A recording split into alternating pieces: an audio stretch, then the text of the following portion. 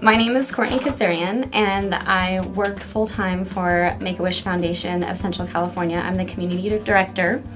I also freelance for Fresno Magazine. I'm the style and entertainment editor and I also own my own business called Central Valley Historic Estates. I left Fresno because I wanted to go to fashion college and there was not there is not one here currently.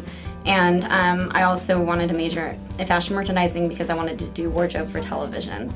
And so that just made sense to go down to Long Beach and then I ended up interning in LA or in Hollywood and then working in Hollywood for many years.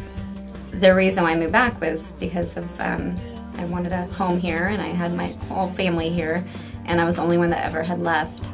So it made sense to want to establish my roots where I knew I would establish them, which is Fresno. You know, it's just fun to be a part of growing Fresno and people re recognize it. And so I think in those other bigger cities, um, and like I said, the hustle and bustle mentality, it's not as easily appreciated. So I think you get a lot of pats on the back here. You know, you have a lot of um, people that are lifting you up, and that's important to me. I think you don't find that most places.